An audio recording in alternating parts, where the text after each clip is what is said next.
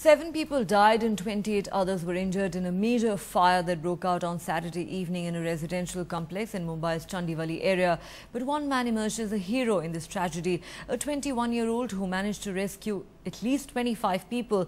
Jitesh Ahire had gone to the building to deliver pizza when he along with four others noticed flames leaping out of the 14th floor.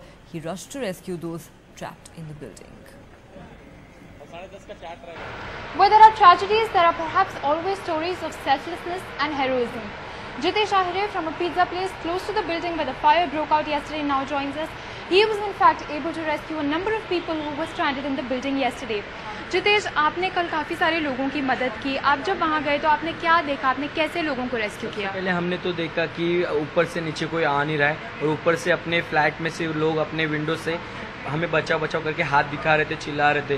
तो हमने देखा यहाँ पे condition इतनी critical है कि बचाना तो मुश्किल ही है, कि ऊपर जाना तो बहुत ही प्रॉब्लम है। तो हमने तो भी कुछ सोचा नहीं, कुछ जाना नहीं। डायरेक्टली हम ऊपर गए फोर्टीन फ्लोर तक भागते भागते फायर एक्सटेशन लेके। लेकिन फायर एक्सटेशन इतना मतलब पावरफुल नहीं था इसको, जैसे उलट वो इफ़ेक्ट नहीं हो रहा था।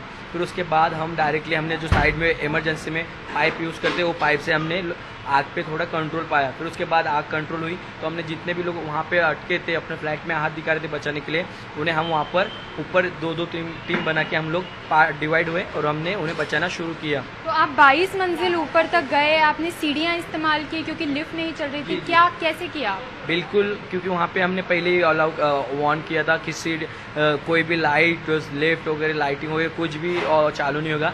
सब स्विच एक ही साथ में बंद कर दो। मेन स्विच हो सके जितना बंद होता है, वो बंद करो। तो स्विच बंद होने के बावजूद हमें कोई भी मतलब कोई सर्विस लेने को मिला नहीं। तो हमने अपना स्टेकर से भाग दौड़ करके कैसे भी करके उन्हें 22 मंजिल से सात या आठ बार तक नीचे ऊपर किया।